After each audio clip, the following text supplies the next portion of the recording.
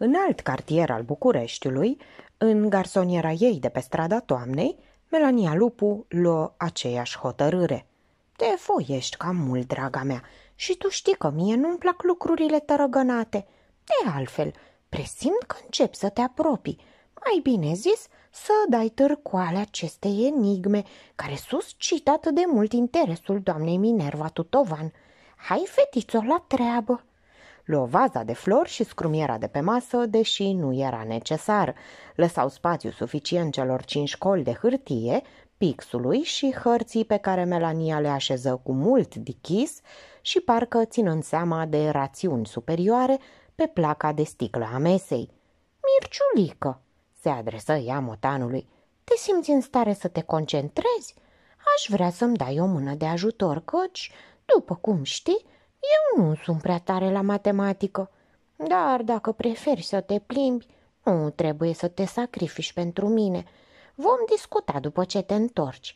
Promenada în aer curat îți înviorează judecata, ca și domnului Simeon, care hoină reandelung prin grădina dumnealui înainte de a se așeza la masa de scris. Poate treci pe la gospodina. Mă interesează dacă în meniul de azi figurează și savarine. În realitate, au un cofetar admirabil. Ai grijă doar să nu întârzi prea mult. Peste câteva minute se afla adâncită în ceea ce unui ochi neavizat i s-ar fi părut a fi calcule complicate. Pe foaia de hârtie erau așternute pachete de câte cinci cifre pe care Melania, parcă dintr-un capriciu de jonglerie matematică, le combina în fel și chip.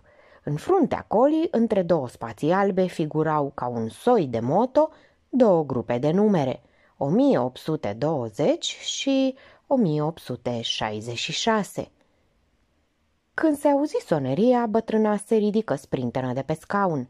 Probabil că s-a întors Mirciulică. A, adică nu, se corectă instantaneu. Nu poate fi el, căci la ora mesei preferă să se întoarcă pe fereastra din bucătărie. Tot așa proceda și colonelul, doar că el folosea ușa. Normal, locuiam la etajul 3. Ca totdeauna la vederea maiorului Cristescu, chipul bătrânei căpătă o expresie de sărbătoare – Dincolo de canoanele de politețe care osileau să afișeze același aer fericit, independent cine i-ar fi sunat la ușă, poștașul Hingheri sau Pavelescu, vecinul de la etajul întâi, care de câte ori se întorcea beat, ceea ce îi se întâmpla în fiecare zi, dovedind fantezie în alegerea orelor, greșea ușa apartamentului. Melania îl simpatiza sincer pe Maior, dăruindu-i constanta ei afecțiune – ce idee strașnică ați avut să veniți să mă vedeți! Diminețile de vară sunt pentru mine o pacoste, praf mult, căldură și străzi pustii care mă întristează. Abia după 15 septembrie, când, ca în orice oraș mare, reîncepe sezonul, mă simt din nou în București la mine acasă. Vă rog să luați loc. Pe fotoliul dumneavoastră preferat, desigur, suntem prieteni prea vechi pentru a-mi fi scăpat amănuntul. Cristescu, obișnuit cu beția de cuvinte a bătrânei, zâmbea convențional. A zvârli o privire întâmplătoare pe masă unde se aflau încă exercițiile bătrânei. E ultima dumneavoastră pasiune?" Bătrâna, parcă surprinsă practicând un viciu rușinos, surâse stingherită și adună cu oarecare precipitare hârtiile. La vârsta mea începi să te plictisești și cauți din când în când noul." Da, pricepu maiorul. De câte ori e la strâmtoare, improvizează variațiuni pe aceeași temă. Senectutea. Am constatat că rebusurile de matematică, alături de priamim, înviorează mult inteligența. Dar de ce n-a venit și doamna aceea atât de simpatică în care intuiesc multă duioșie? Regret că nu v-a însoțit. E ocupată, răspunse scurt Cristescu. O, sărăcuța, ar trebui să se menajeze puțin. Surmenajul se află la originea multor boli neplăcute și faptul că eforturile dumneaei sunt legate de dispariția statuii unchiului meu nu-mi permite să devin egoistă. O voi avertiza. Stimată doamnă, începu maiorul deci să pună capăt divagațiilor interminabile, vreau să am cu dumneavoastră o convorbire confidențială. Precizez dintr-un bun început că mă aflu aici din proprie inițiativă și în calitate de persoană privată. Bătrâna clipi speriată. Poate că ținuta mea nu corespunde unei discuții atât de importante. Sunteți de părere că ar trebui să-mi schimb rochia? Sunteți foarte bine așa. Ați reținut, deci. Convorbirea noastră nu este oficială. Trebuie să înțeleg că e vorba de un secret care ne va aparține numai nouă? Mi-este indiferent dacă veți striga după aceea pe acoperișuri.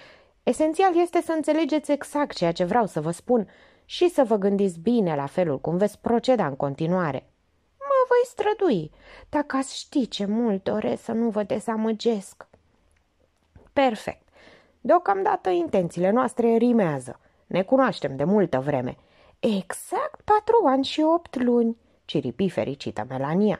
Ce repede trece timpul! Data mi-am notat-o ca una dintre cele mai fericite din viața mea. Da, da, vă ascult cu toată atenția. Cred că pot afirma cu oarecare certitudine și fără a cădea în infatuare că sunt unul din puținii oamenii care vă cunoaște bine. În orice caz, mai bine și mai mult decât alții. Melania declară cu voce de fetiță cu minte. Dacă ați constatat la mine unele trăsături negative, să știți că eu sunt gata să mă îndrept. Observațiile din partea unui prieten, mai ales dacă sunt exprimate cu tandrețe, nu pot fi decât binevenite. Spuneți-mi, vă rog, limpede, ce nu vă place la mine? Ei bine, doamnă, ca să vorbim răspicat, v-ați angajat într-un joc periculos, poate cel mai periculos din tot ce ați întreprins până acum, flirtând cu diversele paragrafe ale codului penal. Vă jur că nu știu la ce vă referiți. Știți foarte bine. Am venit la dumneavoastră ca prieten, simțindu-mă obligat să vă avertizez. Bătrânei, în pragul lacrimilor, îi tremura bărbia. Dar ce-am făcut rău? Nimic, sau nu sunt eu unde ajuns de informat. Dar nu cu scopul de a vă investiga, mă aflu aici. Nu pun întrebări și nu aștept mărturisiri. Vă rog doar, vedeți-vă de treabă. Nu cunosc calitatea în care figurați în această istorie a statuii. Nu știu ce-i premeditat și ce-i întâmplător, dar în locul dumneavoastră aș renunța să fac parte din distribuție. E oare atât de infam, atât de reprobabil să mă preocupe soarta unchiului meu? Cristescu pocni sâcâi din degete. Nu-i vorba de infam sau de reprobabil, ci de partitura falsă și de jocul primejdiei în care v-ați angajat. Cea mai mică ilegalitate în conjunctura dată va avea consecințe grave pentru dumneavoastră. Dosarul statuii nu este un dosar obișnuit, articulă răspicat. El închide între coperțile lui o afacere de spionaj. Spionaj? Căzut din nori Melania. Infracțiune? Completă maiorul, care din punct de vedere juridic, când se referă la un subiect cetățean român, capătă calificarea de trădare de țară. Se ridică. Insist, aici nu mai e vorba că vă jucați cu mingea sau de-avați ascunselea cu maiorul Cristescu, iar în materie nu există indulgență, nu există amnistii și, în general, jurisprudența respectivă nu cunoaște minuni. Aveți toate șansele să vă rupeți gâtul. Melania își duse palmele la obraj.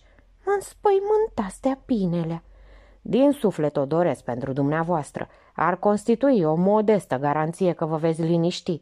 Și totuși, n-am făcut nimic. Ei bine, faceți și mai puțin decât ați făcut până acum. Plecați undeva la băi ca să nu aveți tentații greu de înfrânt și... Arătă spre hârtiile de pe scrin. Renunțați la exercițiile de matematică. Când motanul se întoarse acasă, o găsi pe Melania trudind asupra grupelor de câte cinci cifre. Mirciulică, abia aștept să ne sfătuim. Cred că am găsit ceva. Investigațiile efectuate printre locatarii imobilelor din strada Vlăsiei nu duseseră la niciun rezultat. Declarațiile cetățenilor solicitați, ca și reacțiile lor, erau atât de asemănătoare, chiar și în bizar, încât la un moment dat lucrătorii din echipa operativă începuseră să se amuze. Mai toți suspicioși, cetățenii se interesau în primul rând și folosind aproape aceeași terminologie. Cine v-a trimis la mine?" Știți, eu sunt ocupat, ocupată, eu nu mă bag în casa nimănui, fiecare să-și vadă de treburi, etc. La rubrica eventuale zgomote înregistrate, răspunsurile constituiau polițe plătite unor vecini. Ioneasca de la doi se întoarce acasă după miezul nopții și ne toacă somnul cu saboții. N-are bunul simț să se descalțe în vestibul. Stambuliu de la parter ne-a nebunit cu vioara, mai ține și geamurile deschise să-l audă tot cartierul. L-a mințit unul care zice în cafea că îl cheamă Paganini. Arnăuții fac șnițele și sparg nuși când dorm oamenii, etc. La amănunte ciudate, eventual sesizate, informațiile fuseseră ceva mai modeste. Am constatat că nu mai avem șobolani în pivniță. Chiar mă și miram. De câteva zile, doamna Constantinescu a renunțat să scoată motanul la plimbare cu Lesa. Doru, un zăpăci care locuiește la blocul alăturat, nu mai fluieră pe găbița fata farmacistului pe melodia Stranger in the Night. După părerea lui, autorul respectivei declarații, noua melodie ar putea fi frăsină, puneți excarpenii și trage cu deodorant ca să-ți iei bărbat galant. Dar nu garanta pentru că el, unul, nu vroia să inducă autoritățile în eroare. Pentru moment, Minerva abandonă pista, angajându-se în alte două direcții. Îi telefonă doctorului Manoliu, solicitându-i o listă cu prietenii mai apropiați ai familiei Candian și hotărâ o deplasare la Câmpina pentru a putea discuta cu părinții Lianei. În rest, situația era staționară. În imobilul Maur, apa fusese închisă de o zi. Ferestrele însă, ușa, rămăseseră la fel de mute. Cel aflat în lăuntrul clădirii reacționa extrem de placid. Adică, de fapt, nu reacționa. Nu-i nimic, decise Minerva. Mai aștept câteva zile. Voi cu Dumitriu rămase câteva clipe nemișcat în mijlocul livingului, încercând să-și facă curaj. Ce Dumnezeu! Sunt om în toată firea, nu cred în fantome, nu o să vin la vale pentru că am auzit sau mi s-a părut că aud pe cineva mișcându-se alături. Și ce dacă îi miezul nopții? Ideea că noaptea dă contururi înfricoșătoare spaimei, că o amplifică până la acutele panicii, o respinsese întotdeauna cu dispreț. Teorii de fecioară bătrână cu scurt circuite frecvente în sistemul nervos. Își încorda auzul. Dincolo, în cabinetul lui Candian, unde credea că înregistrase zgomotul de pași, încetase orice mișcare. Da, asta este, mi s-a părut. Înainte totuși prudent, încercând să calce doar pe covor. Parchetul vechi, de peste 50 de ani, scârțâia. Candian își propusese de mult să-l înlocuiască, întâmpinase însă opoziția Lianei pe care o speria perspectiva unui cumplit deranj pe o lungă perioadă de timp. Evita și scuturăturile mari de primăvară sau toamnă, când se muta pentru câteva zile la părinți. Ciocolată pătrunse în holul întunecat și pipă în zidul, se îndreptă spre birou. Pe neașteptate auzi un susur specific, ca de spray, și își simți obrazul pulverizant. Aroma era insinuantă. Cine? Ce faceți?" Genunchii se muiară și alunecă pe lângă perete, ștergându-l cu mâneca hainei. Nu mai știu nimic. Doctorul Manoliu își anunțase sosirea prin telefon. O găsi pe Mara palidă, cu ochii lucindu-i de îngrijorare.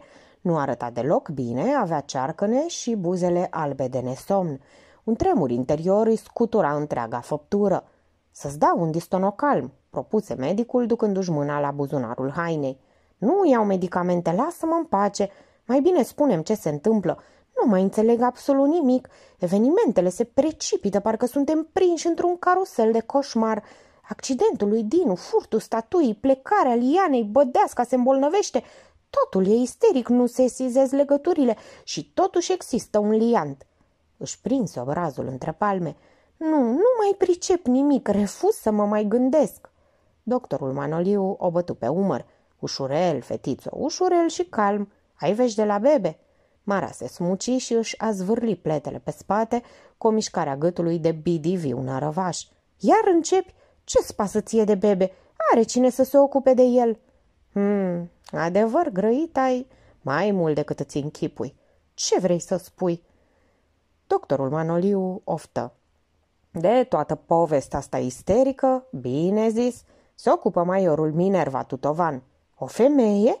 Da, un număr extrem de interesant și te asigur, nu de toate zilele. Mi-ar plăcea să o cunosc mai bine și evident în altă conjunctură. Vrea să mă facă geloasă. Îi trecu prin minte marei. Medicul, intuindu-i gândul, începu să râdă. Nu-i ce ți chipui tu, nici vorbă de așa ceva. De altfel, maioreasa nu-i genul care ți-ar plăcea să știi cum arată în combinezon. Poate doar într-unul de parașutist. Are însă o minte care se duce pentru că nu-i banală. Femeia aceasta știe să privească un fenomen sau o situație din unghiuri total neașteptate. Ai venit la mine ca să-i faci portretul? Dacă aș fi venit să spun că te iubesc, mi-ai fi sugerat fiindcă ușa se află în spatele meu. Mara surâse, adăugând că în acțiuni care presupun viteză se poate apela și la balcon. Am reținut. Ca să fiu scurt, maioresa mi-a solicitat o listă cu numele amicilor casei Candian. Și? Ascultă, draga mea, nu știu ce în capul ei și ce urmărește un lucru, însă este evident, fără să fii prea expert în materie de investigații detective. Ceea ce-mi cere este o înșiruire de persoane suspecte. Suspecte de ce? S-a comis vreo crimă? Nu este singura infracțiune din codul penal și atâta vreme cât un organ de cercetare se ocupă de anumite fapte, înseamnă că ele au deranjat într-o formă sau alta legalul, cel puțin la prima vedere. Pe cine ai trecut? Manoliu ridică din numeri. Parcă tu nu știi. Ciocolată, Emilia, Madame Bădescu. Nu le e prietenă, dar e în fiecare zi. Pe tine, pe bebe. Mara își trecu degetele prin păr cu un aer care se vroia indiferent. Ai procedat foarte corect. În ce mă privește, n-am nimic împotriva să figurez pe orice listă, oricât de absurd ar fi ea. Da, da, da.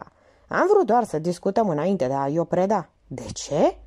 Să nu interpretez greșit faptul că am trecut și numele lui Bebe. Fleacuri, făcu Mara, deși în realitate își simțea inima strivită de grijă. Chiar dacă prezența lui la Candieni a fost totdeauna mai puțin asiduă decât a oricăruia dintre noi, făcea totuși parte din anturaj. Îmi pare bine că gândești așa. Mi-era teamă însă că vei face corelații nefericite cu suspiciunile pe care ți le-am formulat vis-a-vis -vis de el și cu sentimentele mele. Aș vrea să fii convinsă că nu aceasta ar fi modalitatea la care aș recurge pentru a mă debarasa de un adversar incomod. Mara își plecă privirea încercând să-și camufleze emoția. Apropo de suspiciuni, ai de gând să le comuni și mai oresei? Doctorul Manoliu o privi încordat. Tu ce mă sfătuiești? Mara rosti abia auzit. Tu, tu știi mai bine ce ai de făcut. Marta Bădescu era o femeie energică, iar una din trăsăturile care o caracterizau în cea mai mare măsură o constituia tenacitatea. Evoluând în alte condiții, solicitată altfel de destin, ar fi putut avea o viață mai interesantă, cu nebănuite realizări. Existența molcomă însă, alături de molcomul Bădescu, care îi asigurase un trai comod, cu grafic cu minte, făcuse ca însușirile ei cele mai de seamă să nu fie exploatate, iar cu vremea să ajungă ignorate chiar de ea însăși. Avusese o inteligență vie, deschisă, putere de muncă, apetit de cunoaștere, forță de caracter. Acum, la 70 de ani, din toate acestea nu-i rămăsese decât bun simț, o concepție blazată de un scepticism ferm, dar discret asupra vieții și o stare generală de constantă plictiseală. Uneori avea impresia că își invidiază prietenele care păreau că se amuză grozav, în orice caz că se simt bine, pierzând ceasuri întregi la o piatră, trâncănind nimicuri, repetându-se, amplificând incidente mărunte, bârfindu-și meschin nurorile sau ginerii. Nu mai am dorințe, își spunea mereu, și neavând dorințe, nu mai am ce aștepta. Se întreba chiar câteodată ce acrobație fericită a destinului ar putea o face să exulte. Să câștig o sumă enormă la loto? N-a ști ce să fac cu banii. Să călătoresc? Voiajurile ca și dragostea frumoase în tinerețe, când neprevăzutul, în ce are el mai interesant și fermecător, se poate ivi la orice stație, la orice cot de șosea. La 70 de ani, neprevăzutul se prezintă de obicei cu cărți de vizită cu chenar negru. Se numește infarct sau și mai rău. Și apoi, nu mi-ar plăcea să constat câte lucruri interesante aș fi putut să fac și să văd și că acum e iremediabil prea târziu. După multe decepții, nemai mizând pe bebe ca los câștigător, s-ar fi mulțumit să-l știe ancorat într-o existență onorabilă și asigurată, chiar modest din punct de vedere material. O slujbă sigură, o nevastă cum se cade, care să-l suporte și să dea Dumnezeu să nu intre în încurcături prea mari. După ce constatase schimbarea ialei de la boxă și apariția unui lacăt nou, Marta Bădescu se adresase unei cooperative de lăcătușerie, Un lucrător se prezenta a doua zi de dimineață și în mai puțin de o oră îi deschise ușa și în mână două chei meșterite pe loc. Bătrâna plăti, îl omeni cu o țuică, apoi coborâ din nou în boxă, cu o nerăbdare a pașilor care îi amintea de la tinereții. Privirea scotoci lacomă ungherele cămăruței. Mirosea a mucegai, a stătut, a lucruri la care nu se umblă. Nimic nu părea schimbat în afară de... Da, poate că se înșela, dar de obicei cădița de zinca lui Bebe nu stătea în picioare. O dădu la o parte, descoperind câțiva saci. Îi ridică cu vârful degetelor, având o oroare înnăscută pentru murdar în sensul cel mai concret al cuvântului – la început nu înțelese despre ce este vorba și se uită câteva clipe nedumerită la cele două bucățele de piatră îngrămădite în colțul boxei. În mod limpede făceau parte dintr-un întreg, acum spart, și își duse mâna la gură, sugrumându-și o exclamație de spaimă. În fața ei se afla un cap de statuie sfărâmat. Statuia din parcul de pe Alea Conțescu. Idiotul! și încă mai păstrează cioburile aici. Capitolul 13 Așa zisa vilă de la câmpina părinților Lianei era de fapt o locuință țărănească transformată și machiată cu pricepere și bun gust. Cel ce operase modificările decoltase substanțial ferestrele, late și scunde, acum ca la vagoanele Pullman înlocuise ușa de la intrare cu una de stejar, având un grilaj decorativ de fier forjat, aruncase, parcă la întâmplare, pe zidurile imaculate de un alb sclipitor, plăci de ceramică în culori căutați stridente. Perdelele de creton, veranda cu mobilier clasic de pai, daliile și trandafirii grupați în tufișuri, peisajul splendid dădeau nota finală unui loc de refugiu cochet și comod – în interior, mobila funcțională de un rustic stilizat era veselă și dispusă aerisit. Florile împrăștiate cu generozitate în vase de pământ smălțuit completau festiv aerul de vacanță emanat de locuință. Tatăl Lianei, arhitectul Săvescu, era ceea ce se numește un bătrân magnific de vreo 75 de ani. Vârsta nu-i încovoiase statura dreaptă și făcea parte din categoria celor bărbați care rămân frumoși și la 100 de ani – surâdea agreabil și simțea instinctiv că totdeauna îi mersese din plin. Uite unul, își zise Minerva, care toată viața a mâncat tort și încă i-a mai rămas. Arăta admirabil, trântit cu elegantă dezvoltură pe un fotoliu tapisat cu un creton gros, în dungi albastre și portocalii. Blugii îi veneau bine, ca și cămașa roșie dintr-un flanel fin, N-avea pic de pântece, pleșuvia pacostea celor mai mulți bărbați îl ocolise, dantura îi rămăsese intactă. Era bronzat, bine dispus și în formă. Un tip bine păstrat și îi plăcea faptul că această conservare părea naturală. Nu simțeai efortul, de obicei concretizat în practici penibile, solicitând serviciile cosmeticianei sau altor meșteri de frumos – pentru Minerva, un bărbat care își cănește părul, face măști de ceară sau gălbenuște ou, își gâdilă unghiile la manicuristă, etc., era descalificat definitiv și fără drept de apel. Își pierdea nu doar sexul, dar și regnul. Să vezi cu privi veștile, primi veștile Minervei cu relativ calm.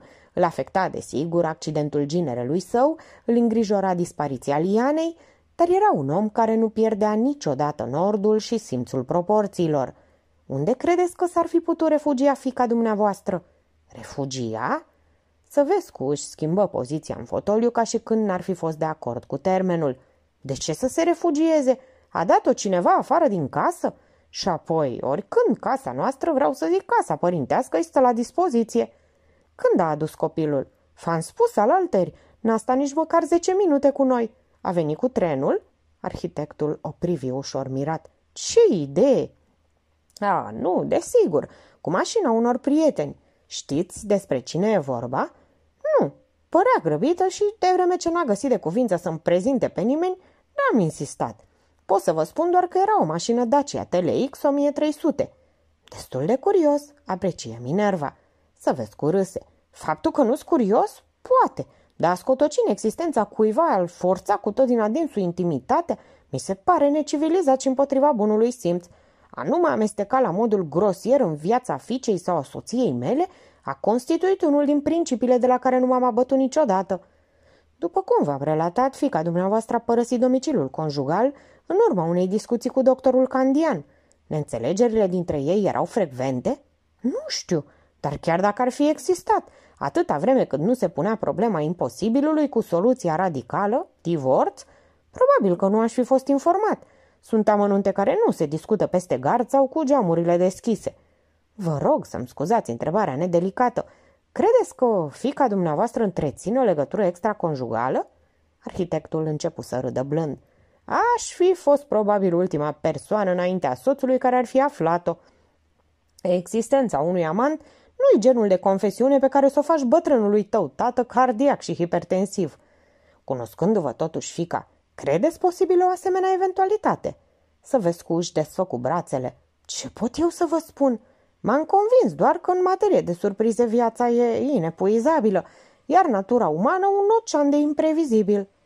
Poate că soția dumneavoastră este mai informată. Să vezi cu surse, cu blândețe. Mă îndoiesc, dar vă puteți convinge personal. A ieșit la plimbare cu codruț. Nu cred să mai întârzie mult. Minerva îl cercetă pe gânduri. Nu scot nimic de la ăsta. E diplomata și sincer dezinteresat de ceea ce nu-l afectează, brutal, direct și imediat. Fiică sa dispare de acasă, iar lui se pare elegant să nu întrebe unde a fost. Sau să accepte motivația că și-a așteptat rândul la dentist două zile și trei nopți. Ce părere aveți despre ginerele dumneavoastră? Dinu? Un băiat excelent. Un profesionist ține la liană. Poate puțin cam posesiv, dar numai tablourile unele sunt fără cusur. Între cei doi este o diferență apreciabilă de vârstă. Nu v-ați opus acestei căsătorii? O lumină ștrengărească se aprinse în ochii arhitectului. Nici o clipă. Ar fi fost inutil, inoportun și ridicol. De ce? Copiii se căsătoresc astăzi și chiar pe vremea mea, la fel, fără avizul Consiliului de Familie. În afară de aceasta, nu aveam dreptul să obiecte împotriva decalajului de vârstă. Adăugă după o pauză. Eu însumi sunt cu aproape 30 de ani mai bătrân decât nevastă mea. Oh, exclamă Minerva, vă rog să mă scuzați. De ce? N-ați vrut să mă ofensați. Fiind în necunoștință de cauză, ați exprimat doar un mod de a gândi. Minerva își netezi fusta pe genunchi. Domnule arhitect, nu mi-ascund un sentiment de descumpănire. Mai clar mă deconcertează calmul dumneavoastră. Liniștea cu care primiți două vești cel puțin neliniștitoare. Nu sunt calm în accepțiunea uzuală. Sunt doar fatalist. Niciuna din vești nu mă lasă rece. Am însă o singură soluție care de fapt nu e altceva decât trebuie să fac ceva chiar dacă e inutil. Să mă întorc imediat la București, să mă aflu acolo pentru orice eventualitate. O aștept pe nevastă mea și probabil că până la prânz vom fi porniți la drum. A, uită! Lângă portița grădinii, o femeie de vreo 40 și ceva de ani flutură mâna amical. Codruț, roșu și transpirat, i-o luă înainte gonind spre bunicul său. Minerva o scrută pe doamna Săvescu și a avut dintr-o dată impresia că înțelege totul despre menajul arhitectului. Femeia era strălucitoare în toată splendoarea vârstei mijlocii. Avea lumina aceea caldă, catifelată și profund emoționată a frumuseții mature, zăbovind pentru câteva clipe încă în pragul bunului rămas. Un soare orbitor de splendid amurg poposit la buza pământului. Rochea albă, abil croită, flata o siluetă ușor îngreunată, mai ales spre șolduri. Liana, gândi Minerva, îi seamănă copie în diafan. ăsta e genul odaliscă, fică sa bibelou, o familie de frumoși în orice caz. Arhitectul se ridică și sărută ceremonios mâna nevestesii. Se simțea că ăsta e obiceiul casei și Minerva găsi că e foarte frumos. Adică de ce, după 10 sau 20 de ani de căsătorie, să gratulez toate fufele, pupându-le vârful degetelor, iar pe nevastă mea să o fluier ca pe cai sau pe câini? Ura coca, gata borșul! Dar ăștia doi sunt amuzanți. El o adoră cu umor, iar ea precis să-i zice papa. În fraze scurte, continuând să o țină de mână, arhitectului desluși identitatea Minervei și motivul vizitei. Surâsul îngheță pe buzele doamnei Săvescu, paloarea obrajilor deveni mai evidentă. Mi-e sete, scânci băiețelul trăgând-o de roche. Imediat, Codruț, du-te în bucătărie. Doamne, șopti înfiorată, nu știu ce să cred. Liana, unde poate să fie?" Fii cu minte, plecăm chiar acum la București și sunt convins că vom găsi totul în regulă. Da, făcu zăpăcită. Chiar acum. Mă scuzați, nu-i așa? Urcând treptele prizvorului, izbucni în plâns. Casa aceea, am spus totdeauna, diabolic. Minerva se uită intrigată la arhitect. Despre ce casă este vorba? Bărbatul o privi în ochi. Părea sincer uimit. Nu am nici cea mai mică idee. Vă dau cuvântul meu de onoare. Minerva îl cercetă atentă. Încerc să vă cred. Apoi își lua rămas bun. Capitanul Macri, la birou, încerca să rezolve ultima șaradă cu care îl fericise Minerva. Fii atent la text, se adresă lui Dobrescu. Locotenentul care văzuse și auzise și altele surâdea flegmatic, mestecând chewing gum. Niciuna din producțiile samuraiului, indiferent de terenul pe care ar fi evoluat, nu-l mai putea impresiona. Tu mă asculți?" se enervă Macri. Cu amândouă urechile, dar asta numai ca să nu vorbești singur. Nu l-am cunoscut încă pe ăla în stare să-ți dea soluții valabile pentru aceste subtile ghicitori. Și dacă l-aș cunoaște, nu m-aș încumenta să noptez cu zisul individ în aceeași casă. Va să zică, ridică Macri degetul gros, presupunem că domnul elefant are ca menajeră pe domnișoara elefanțica, iar samuraiul are ce are cu jungla. Continuă, mon capitan, începe bine. La un moment dat, elefanțica, deci menajera, fură ceva din gospodăria domnului elefant, un dinte de dinozaur sau doi cocotieri giganți. Aha, priceput Dobrescu. Domnul elefant reclamă cazul la poliție. Police Jungle, preciză Dobrescu întrerupându-l. Se fac cercetări și elefanțica încasează un an de închisoare pe care îl petrece la Sing Sing Camping. Capitanul se enervă. Vrei să fii serios? După ce și sprăvește de executa pedeapsa, domnul elefant, gentilom și filantrop, o reia în serviciu. Peste alte câteva luni, elefanțica însă fură din nou. O mică vicioasă. Deși fapta este la fel de gravă, totuși elefanțica nu va mai fi pedepsită. De ce? Abandonă hârtia și se răsti la locotenent. De ce Dobrescu, Vasile? Ei, știi că îmi placi? Întreabă-ți șefa. Parcă eu n-aș avea rebusurile mele la fel de subtile și exotice. Îl întrerupse telefonul. Da, capitanul Macri. Mm, adul, un tip care vrea să ne vadă. Deci, cum rămâne Dobrescule cu misele fănțica? Dăm măcar o idee. În aceeași clipă, un bărbat brun, cu părul și hainele în neorânduială, pradă unei evidente agitații, năvăli în birou. Ochii străluceau și de indignare, spaimă, perplex sau toate la un loc, se bâlbâi. Oameni buni, au dat năvală gangsteri în București. Capitanul Macri îl asculta cu atenție, notând din când în când câte ceva. Dobrescu urmărea reacțiile clientului. Desigur, omul era vădit, tulburat, în mod normal ar fi trebuit să impresioneze, dar nu reușea decât să amuze. Gestica, grimasele, vocabularul, interpretarea faptelor, legitima revolta a cetățeanului cum se cade, toate stârneau irezistibil zâmbetul. Ați auzit, deci, și pași. Așa mi-am închipuit. Vă spun că adormisem oricum, mișcare, o prezență. M-am ridicat și m-am apropiat tiptil de hol. Inginerul Voicu Dumitriu reproducea aidoma mișcările și mimica momentului. Pășea în vârful picioarelor pe lângă bibliotecă, pe figură și imprimase o expresie încordată. Am luat-o la dreapta, știți? Spre biroul lui Candian. Încercând să relateze situația cât mai exact și uitându-se spre cei doi ofițeri pentru a verifica dacă este înțeles, intră cu nasul în cuierul pom care se clătină amenințător. Pardon! Îl ocoli și își reloi itinerarul, oprindu-se în dreptul fișetului. Macri și Dobrescul urmăreau stupefiați. Aici m-am oprit. Beznă caniad, un peisaj mai orb, mai mut, mai ermetic decât un tunel unde se încaieră două pisici negre. Și dintr-o dată făcu o pauză accentuându-și suspansul.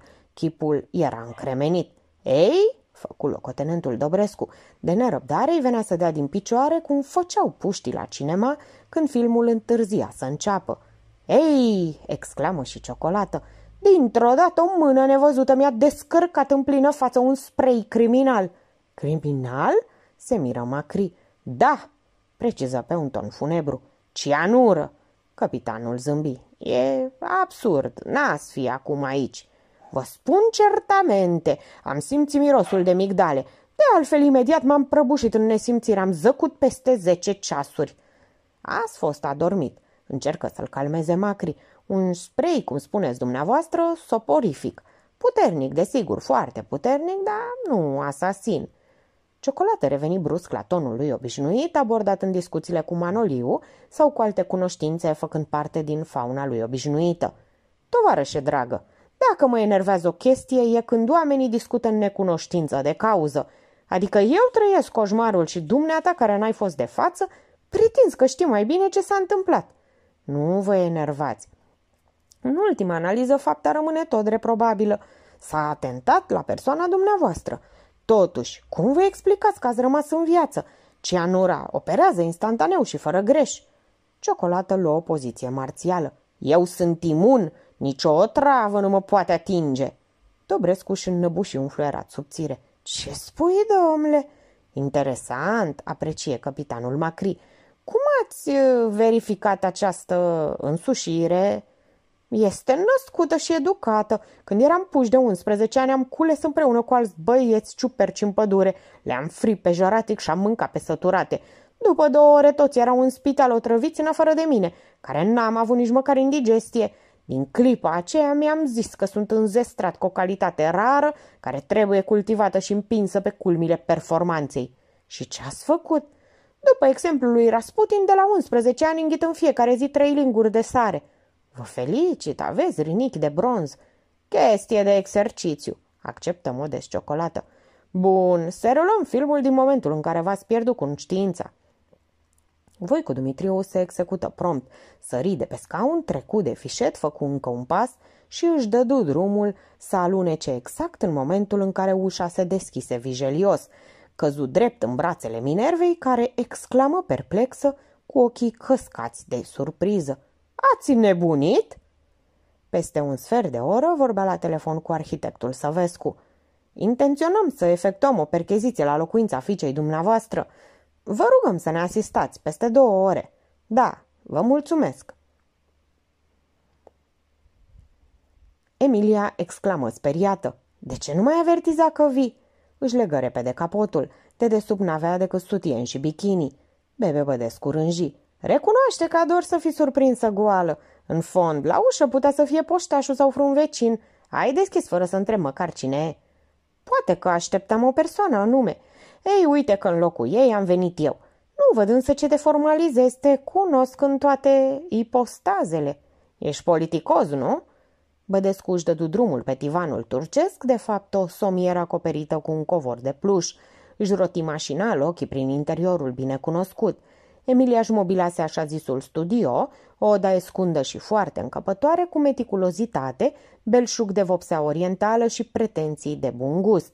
Izbutise o harababură unde, din pricina aglomerării de șaluri, broboade, covoare, măsuțe, mescioare, zeci de șiraguri de mărgele multicolore, atârnate în cuie, lămpițe și lampadare, bașca, o grămadă de tinichele, sfeșnice, ibrice, candele, tăvi, tipsii, gazornițe, niciodată folosite, curățenia constituia o problemă teribil de anevoioasă și, în general, nu aveai unde să te învârți. Emilia însă se simțea admirabil, slalomul printre boarfe dându-i posibilitatea să-și unduiască trupul în mers de cadână. Ținutele de interior, șalvari, ilicuri, volanuri, etc., completau tabloul pe care și-l închipuia original și rafinat. Își alese o țigară din cutia de aramă de pe masă și se interesă direct. De ce ai venit? Bădescu râse. Acum tu ești politicoasă. N-avea grijă, nu întârzi. Am vrut doar să te anunț că mă retrag din afacere. Zâmbetul de fiară cu dinți splendizi se ivi pe chipul Emiliei. Crezi că e chiar așa de simplu, puiule?" Bebe Bădescu își strâmbă nasul aristocratic. Ți-am spus de atâtea ori să renunți la expresiile de coristă, micule, puiule. Ești o scumpă, e o dulce, puțin stil mașer, ce Dumnezeu. Dai lecții de stil mătii, se enervă Emilia. Faci cu mine pe ciocoiu? Ar fi prea mare osteneala, se clizi Bădescu. În consecință, milady, eu v-am avertizat. De altfel, specifică întreagă, am fost rechemat urgent la buftea. Emilia își puse mâinile în șolduri, măsurându-l cu ironie necruțătoare. Nu pot să facă ăia filmul fără tine, mie îmi spui? imită glasul lui Bădescu în exercițiul funcțiunii. Maestre, sunteți invitat pe platou. Meștere, dacă vreți să încercați costumul, domniță, poftiți la machiaj. M-am întrebat nu odată ce le-a fai tu cavalet acolo. Bădescu rămase impasibil. Exprimă de altfel ceea ce gândea cu adevărat, doar bărbia săltându-i instinctiv cu doi centimetri mai sus. Draga mea, nu-mi stă în caracter să întrețin dialoguri cu inferiorii. Venind să te informez asupra intențiilor mele, am comis un act de politețe. Te rog să avizezi persoana în chestiune. Nu fă pe nebunul că te arzi. De ce? Am dreptul să mă retrag. Afacerea nu mă mai interesează. Nu-i serioasă, beneficii zero, în schimb observ că au intervenit aspecte care pot lua altă turnură. Așteaptă dezlegarea lui Grig. Imposibil, mașer. Mă reclam alte probleme. De altfel, n-am nicio obligație față de acest aventurier. Nu există contract, n-am încasat un leu. Te las să te joci singură de-a frumoasa din pădurea adormită. Ce naiba vrei să spui? Bădescu replică sarcastic. E o poveste cu multe statui. Respectele mele. Ca totdeauna când se simțea mulțumită de crema de zahăr ars ținută în cuptor exact cât trebuie, de mirciulică, de viață, de univers, dar în primul rând de ea însăși, Melania Lupu făcu praf toți banii pe care îi avea în casă. Faptul că până la pensie mai erau zece zile nu prezenta niciun fel de importanță.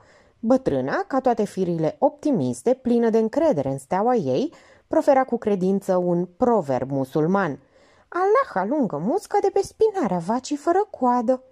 Și dacă stătea să se gândească bine, de câte ori fusese la ananghie, cel puțin în ultima clipă, intervenea un eveniment fericit, soluționând fericit situația. Nu-i mai puțin adevărat însă că, în afară de pensie, bătrâna dispunea și de alte resurse imediat negociabile.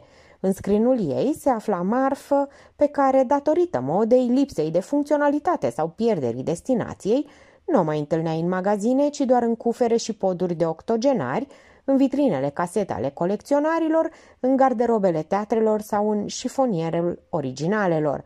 Din ultimele trei categorii făceau parte și clienții Melaniei, care achiziționau la prețuri cochete tot soiul de nimicuri pline de grație, însă și evocând o epocă, evantaie de fildeș, tul sau pene, dantele vechi de Bruxelles sau Valencian, tabachere de baga cu buză aurită unde încăpeau sub elasticul de mătase exact 10 țigarete, ace de pălărie cu capul din crist, cristal de stâncă, poșete din fir de argint sau brodate cu jeuri, carnete de bal, albume legate în marochin și încuietoare de argint cu suvenirurile elevelor de pension ale anilor 1880 sau 90, brățări vechi, pene de struț, miniaturi delicioase nu mai mari decât palma, înrămate oval, mătănii, cutiuțe în care își păstrau sulimanurile frumoasele altui veac și altele. Prodigialitatea Melaniei nu era deci total inconștientă și spre norocul ei făcea parte dintre bătrânii inteligenți care încep să-și lichideze avutul, îndulcindu-și existența când încă vârsta și sănătatea le permite să se bucure din plin. Pusă pe fapte mari și plină de energie, plecă la 10 dimineața de acasă și în două ore secă între conținutul portofelului. Își cumpără o rochiță la Eva, e distinsă, draga mea, albastrul acesta îți vine minunat și chiar îți lipsea așa ceva din garderobă. O sticlă de șampanie, un kilogram de bomboane de ciocolată de la Intercontinental, opsuluri de hârtie igienică pe care le înșiră pe o sfoară, două șnițele de la Express pentru Mirciulică și, în ultima clipă, de la un stand de artizanat, o trompețică de plastic, pentru că trebuie să recunoști, draga mea, verdele acesta este splendid, îmi amintește de brotăceii din Cismigiu și, în plus, nu ți-ai mai cumpărat de mult nicio jucărie. Se întoarse acasă transpirată, cu mâinile înțepenite din cauza pachetelor, dar triumfătoare. Puse șampania la frigider și îl luă pe Mirciulică în brațe. Dragul meu, am hotărât. Mâine ziua cea mare. Te bucuri, nu-i așa? Bineînțeles, chicoti, doar și sprava asta tot noi, șt, e secret, nu vreau să ne audă nimeni. Sper că domnul major Cristescu va fi mulțumit. Există o soartă, conchise Grig, și așa cum există o soartă pentru fiecare individ, popor, ființă cuvântătoare sau necuvântătoare, orice obiect are și el soarta lui, că e o carte, o mobilă sau o comoară. Pe semne, ăsta e destinul comorii lui Herr Schmidt, să rămână aici în România și să nu poată dispune de ea decât un individ care agonizează. Așa cum se prezintă lucrurile în momentul de față, totul rămâne de domeniul basmului. Al avea dreptate. Am plecat la drum fără suficiente aturi. Culmea imbecilității a fost să-mi închipui cu o statuie înțepenită într-un parc de care se rează mă toți căței din cartier când stau în trei picioare. Este de fapt peștera lui Alibaba, o avuție în pântecul unui soclu. Aberant, greu de introdus, greu de sustras. M-am gândit însă că în materie de bizar imbecil, imaginația oamenilor nu are limite. De colaboratori, ce să mai vorbesc. Imediat ce ajunsese în București, începuse să se informeze în legătură cu soarta a trei colegi, Sorin, Radu și Dan. De ei își amintea cel mai bine, constituiseră ceea ce în limbajul anilor 50 se numea o gașcă. Apelase în primul rând la cartea de telefon. Aici îl găsise pe Radu Oprea. Ceilalți, aflase de la Radu, se stabiliseră în provincie și, deși le notase adresa conștiincios, Vezi, doamne, am venit să revăd locurile de baștină și prietenii, știa că nu-i va căuta niciodată.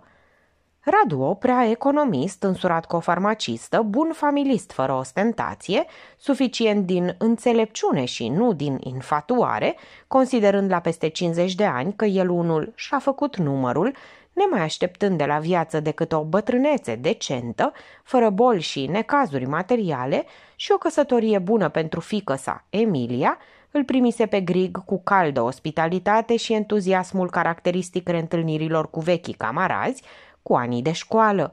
După consumarea surprizei inițiale, Extraordinar, domnule! Ce-ai făcut atâta amar de vreme?"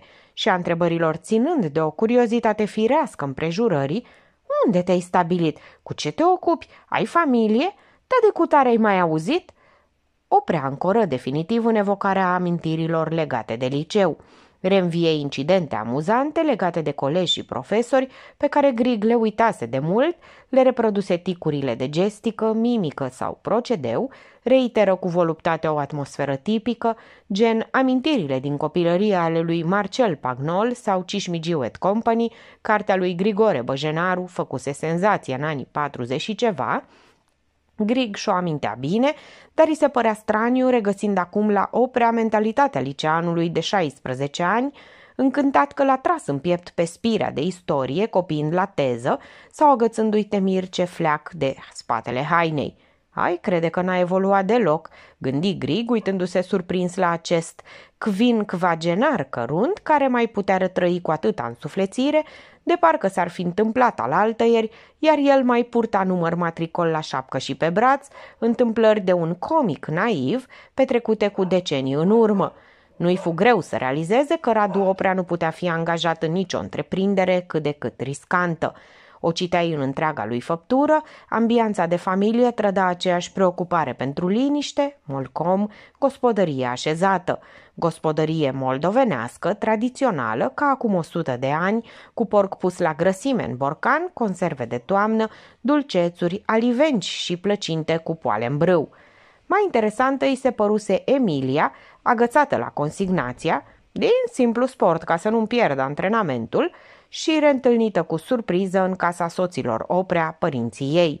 Grigo etichetase încă de la prima vedere, vampă de categoria treia, gălăgioasă, de o excentricitate căutată, frivolă, cu o excelentă părere despre ea însăși, constituind o pradă facilă la îndemâna primului excroc sentimental care ar fi știut să-i atâțe fantezia – doar o șansă extraordinară ar fi putut oferi de erori fatale, căci femeia asta îți dădea impresia că umblă cu lumânarea după încurcături, inexorabil atrasă de nefast.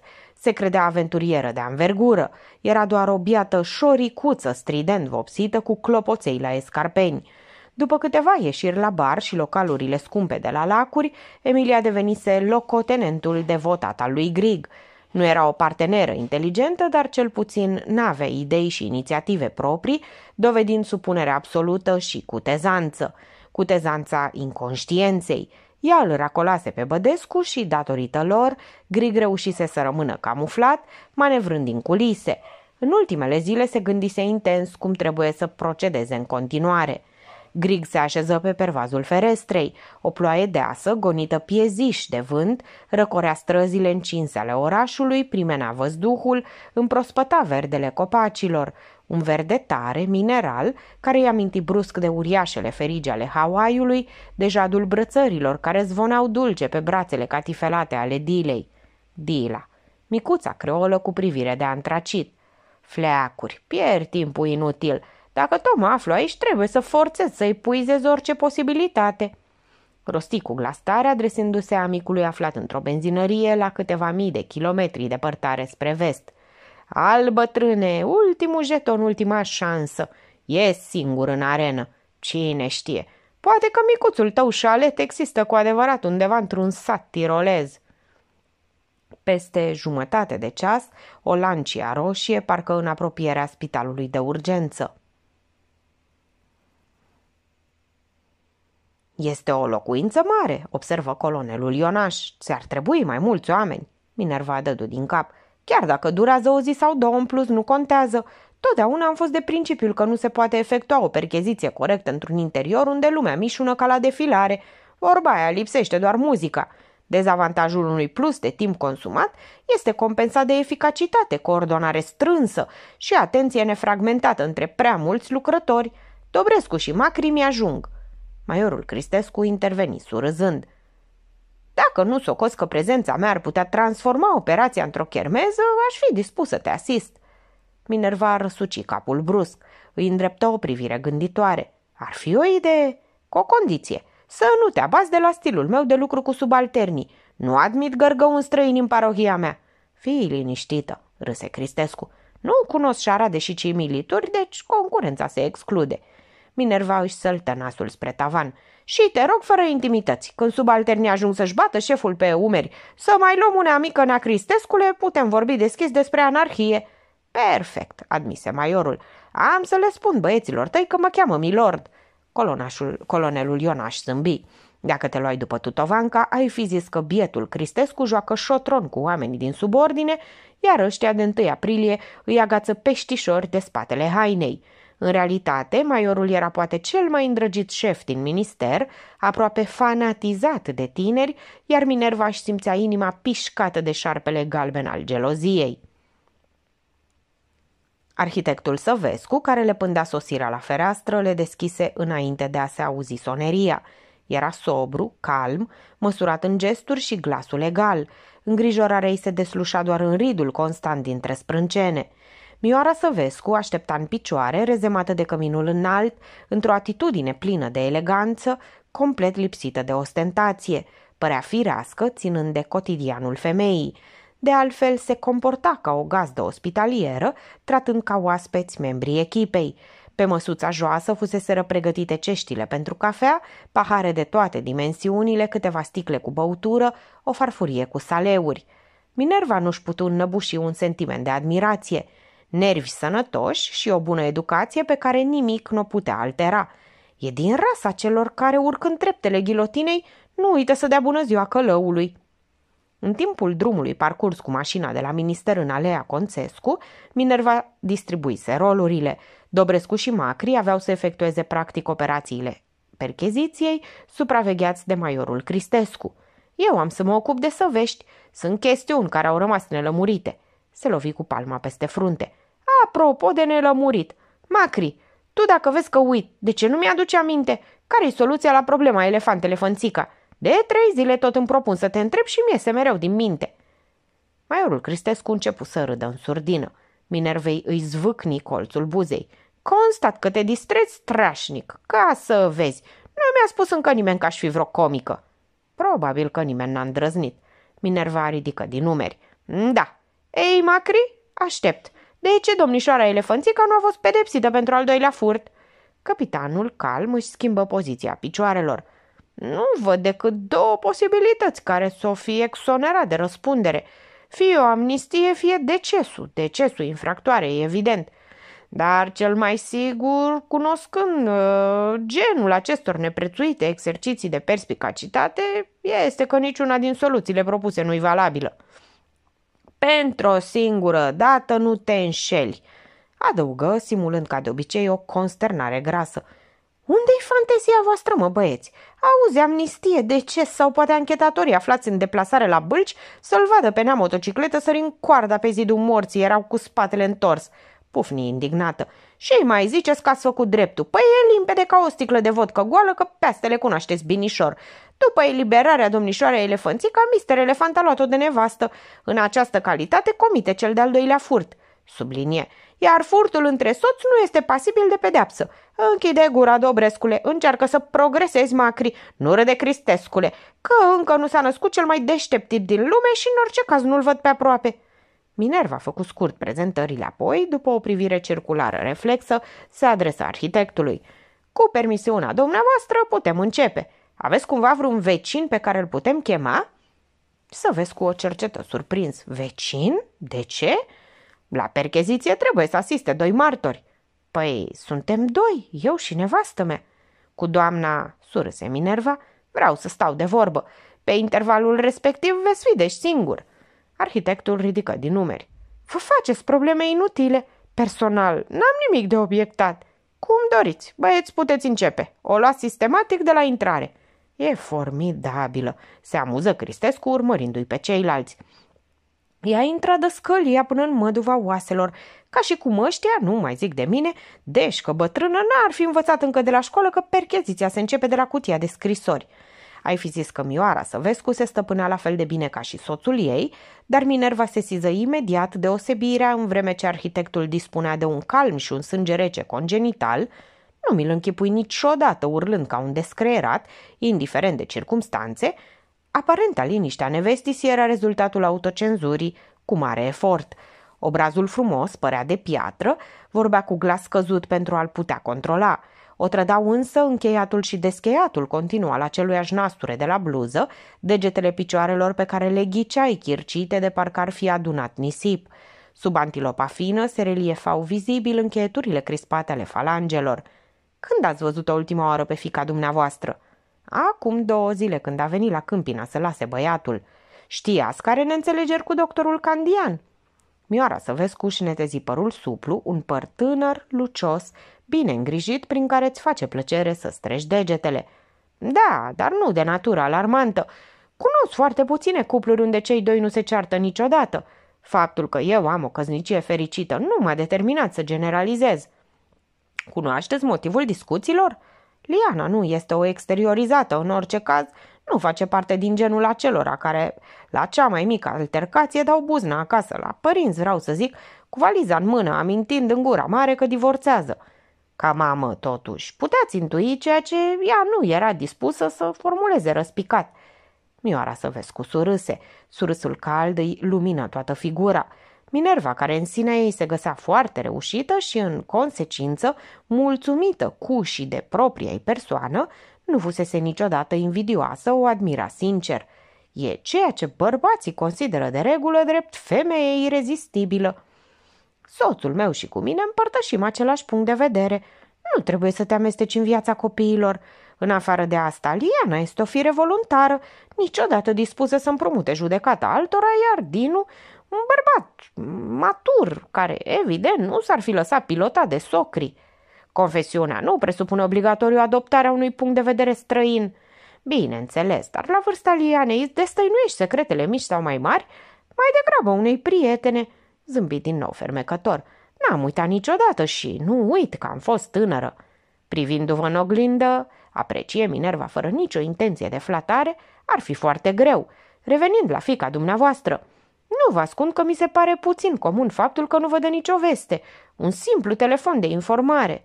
În contextul relațiilor normale de familie știu că această atitudine pare ciudată. Pe noi însă nu ne surprinde. Liana a crescut ca ființă independentă, Uneori trec săptămâni fără să ne vedem. Are viața ei și nu vă ascund. O avem și noi pe noastră. Nu suntem atât de bătrâni sau nu ne simțim atât de bătrâni pentru a fi renunțat la o existență care să ne aparține exclusiv, separată ori, dacă vreți, paralelă cu cea a Lianei și a lui Codruț. Ne iubim foarte mult, însă nu ne confundăm. Poate nu mă înțelegeți, însă soțul meu și cu mine avem și alte debușeuri, bucurii, preocupări, prietenii care sunt numai ale noastre. Înțeleg. Și Minerva, care nu avea copii, găsi că soții Săvescu cultivau o mentalitate extrem de înțeleaptă. Mă bucur pentru dumneavoastră că priviți lucrurile calm și fără acute. Și totuși, unde și de ce s-ar ascunde? Mioara Săvescu dădu din cap. Nu cred deloc că se ascunde. Îngrijorată sunt, gândindu-mă la eventualitatea unui accident. Altfel, sunt perfect liniștită. La ce vă referiți? Îmi cunosc fata. Oriunde s-ar afla, știu că nu va face nicio prostie. Cred în lealitatea ei, în mintea ei sănătoasă. V-ați gândit că ar putea exista alt bărbat în viața ei? Bineînțeles. Când o femeie are vârsta și înfățișarea liană, este primul lucru la care te gândești. Dar, în lumina aceleiași onestități, ar fi fost incapabilă de duplicitate. L-ar fi informat imediat pe Dinu. Liana poate fi cinică, dar nu trădătoare. Credeți că regretă căsătoria cu doctorul Candian? Mie... mi-e greu să mă pronunț. Este posibil ca în urma unor neînțelegeri devenite frecvente să fi încercat sentimentul că a comis o greșeală. Simplă supoziție, că mie nu mi-a mărturisit nimic. Da, da, da, da, da, rosti mecanic Minerva. Când ne-am cunoscut la Câmpina, informată fiind de soțul dumneavoastră că Liana a dispărut, ați avut o reacție. Nu, se corectă, nu ăsta e termenul, nu o reacție, ci o formulare spontană ciudată. Sprâncenele mioarei Săvescu se încrețiră. Anume? Ați exclamat. Casa aceea diabolic. Femeia se crispă. Nu făcu nicio mișcare, trupul rămase drept, fără cea mai mică tresărire, dar Minerva o simțea adânc tulburată. Capitolul 14 Din vestibul trecuseră în hol, iar acum ajunseră în biroul doctorului Candian. O casă cu adevărat impresionantă, își zise Cristescu cântărind cu atenție îndoită considerentul profesional și cel de ordin estetic, fiecare obiect. Și totuși nu i-ar fi plăcut să trăiască într-un asemenea interior. Desigur, nici nichel și plastic, furia decenilor de după război, dar nici muzeu sau biserică.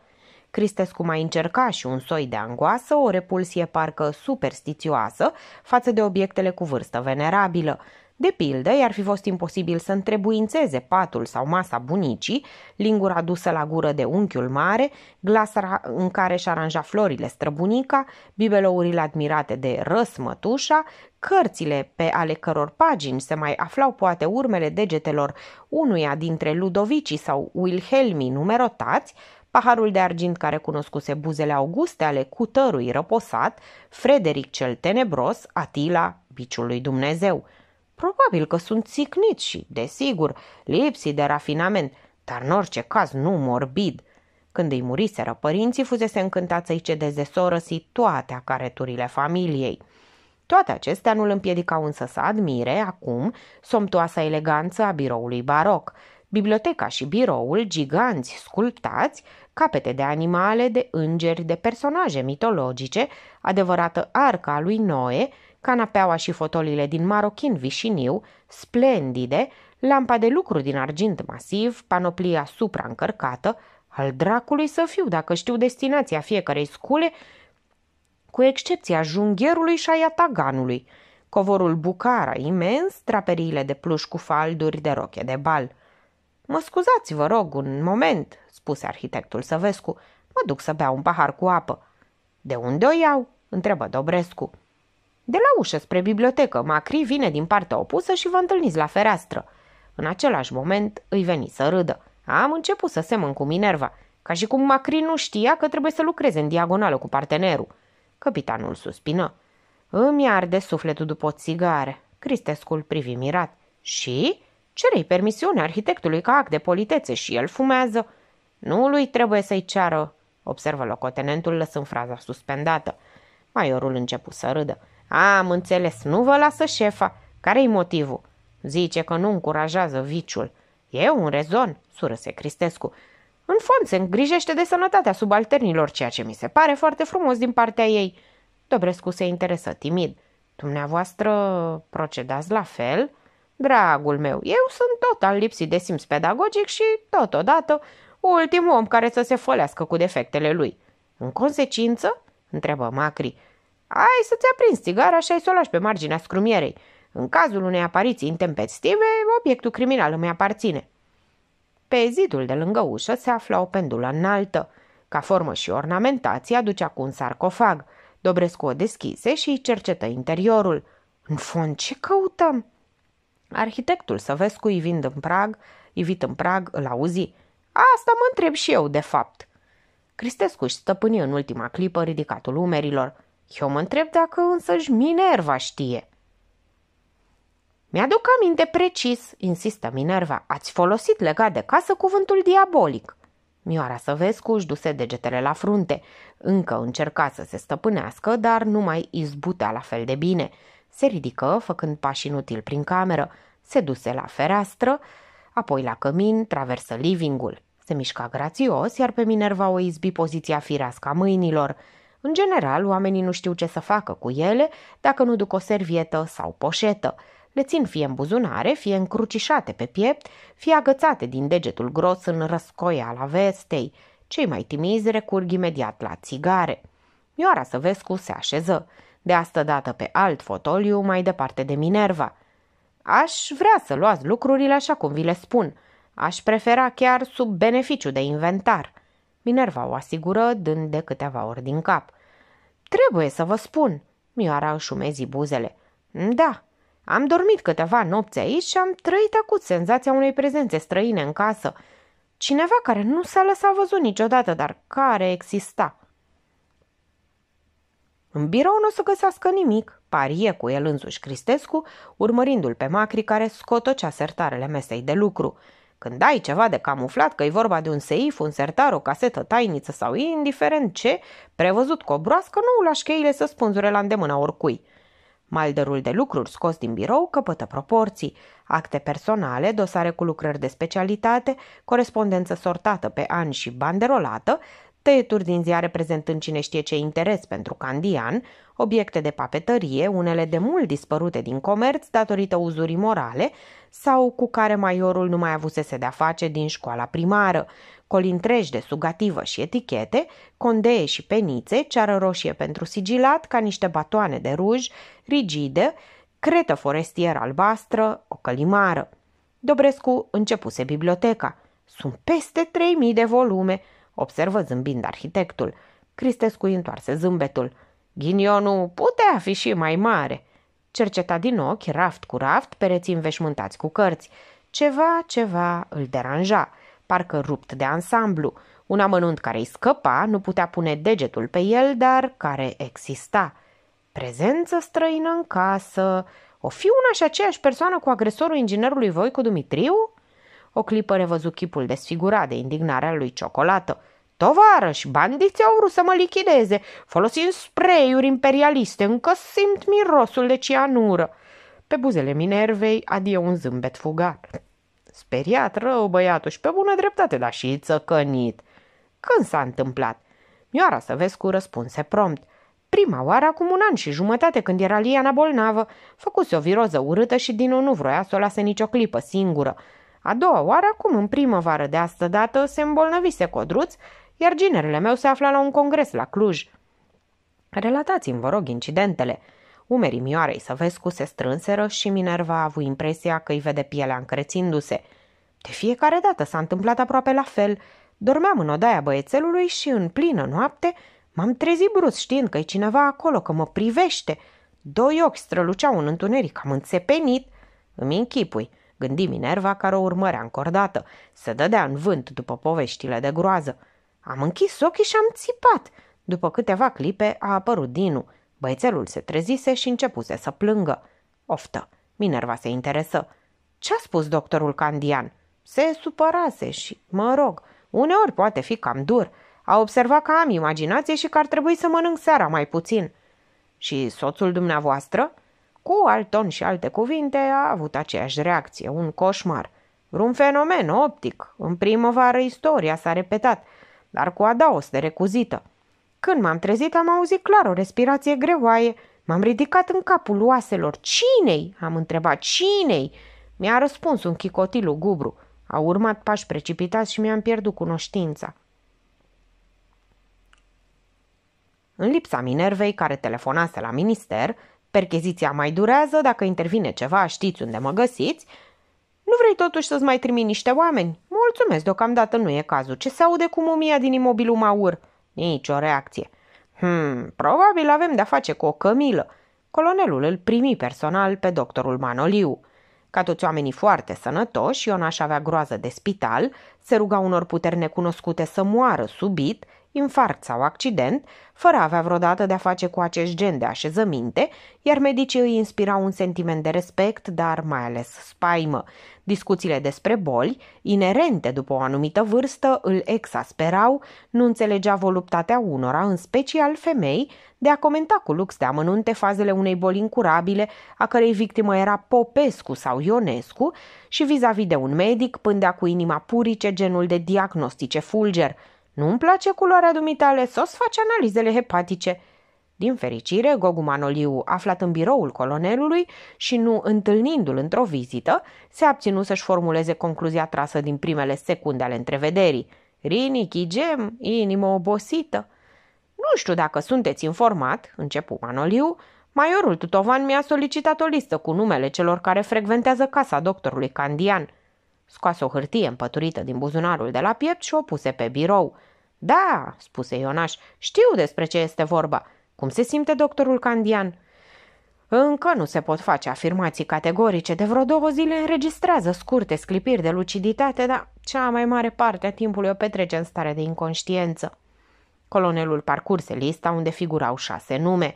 Cu unele din ele și cu personajele respective era familiarizat din rapoartele Minervei. Constat că ați exclus familia. Manoliu îl privi o clipă de concertat. A, vă referiți la părinții doamnei Iliana Candian?" căci din câte știu eu, nu există alte neamuri apropiate. Ce-ar putea să pară curios, da, deși sunt prieten cu Dinu din facultate și de cel puțin trei ori pe săptămână îi vizitez, nu i-am întâlnit socrii decât o singură dată. Nu poate fi vorba, deci, de frecvență. Observ, spuse colonelul, continuând să examineze lista, două nume identice. Marta Bădescu și Bebe Bădescu sunt rude? Anuliu păru surprins de remarcă și începu să râdă.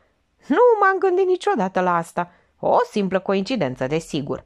De verificat, totuși, își notă Ionaș în minte, împături hârtia tacticos și o puse în dosar, își ridică privirea, zâmbind.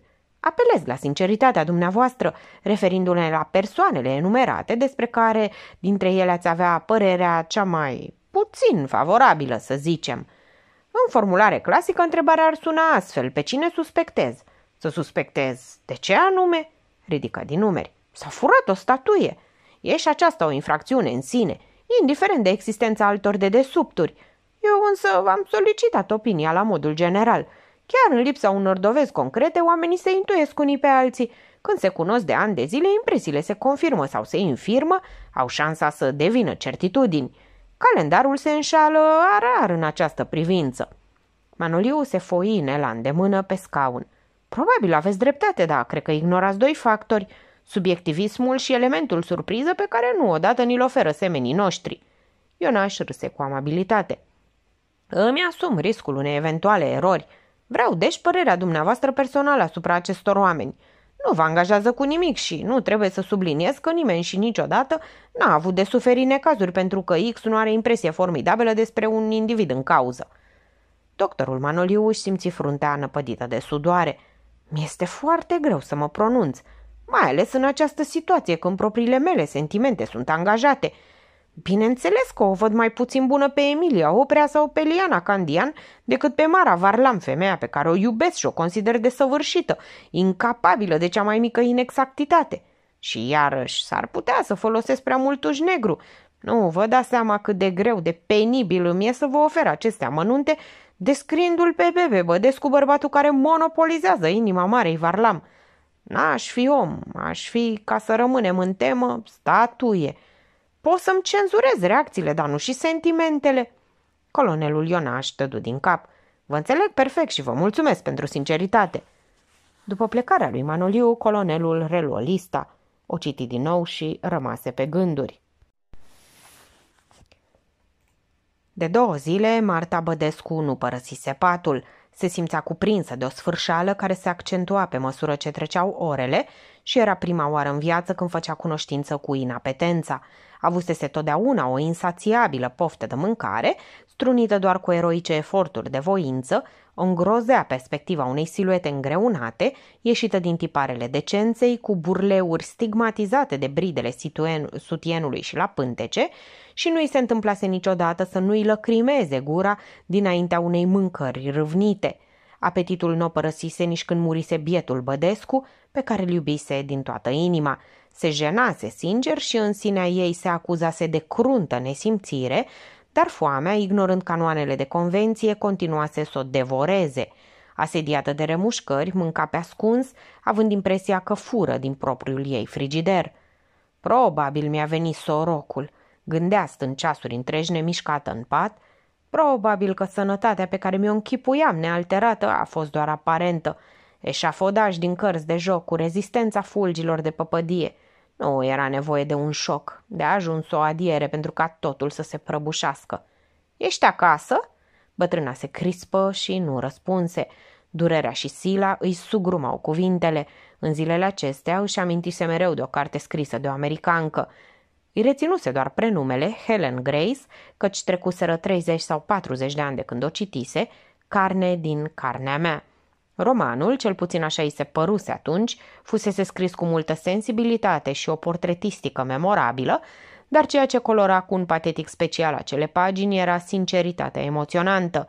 Tema, nu foarte nouă, Dragostea de mamă nu cunoaște limite, nu pot ucide nici cele mai hidoase mostre de ticăloșii ale propriului copil, în transcripția dramatică a scritoarei, parcă o chema Carlyle, devenea convingătoare. Dacă aș reciti-o azi... Ești acasă?"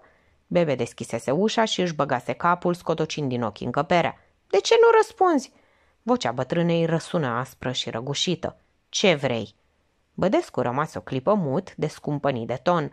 Își reveni instantaneu și se interesă ironic și nazal. Ești prost dispusă, doamnă? Când încearcă asemenea stări, oamenii civilizați spun anunț pe ușă." Marta Bădescu se săltă anevoios într-un cot. Își simțea tâmplele zvâgnind, șuieră.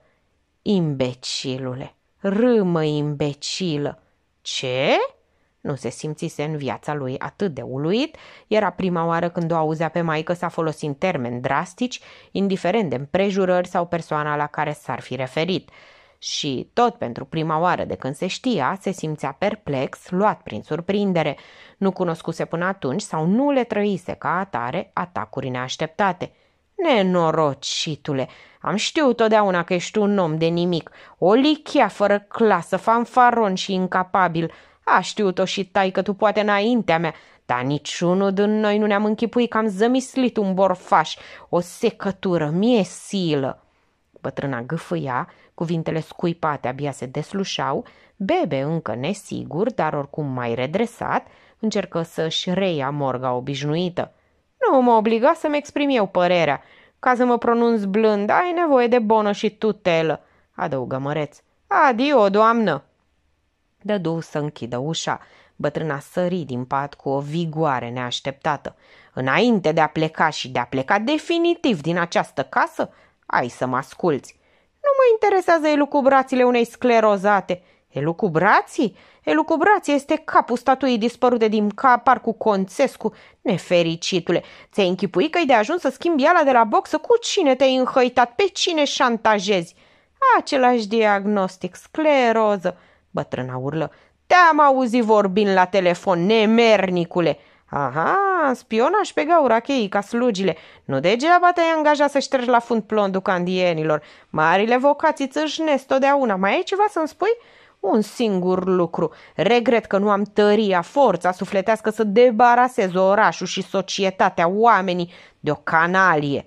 Bădescu rânji. Mai ai timp să mă torni. Sunt prea slabă, șopti bătrâna fără să-l mai asculte. Sau poate la fel de ticăloasă ca și tine. Oricum, prea bătrână, nu mai contează. Du-te, să nu te mai văd niciodată.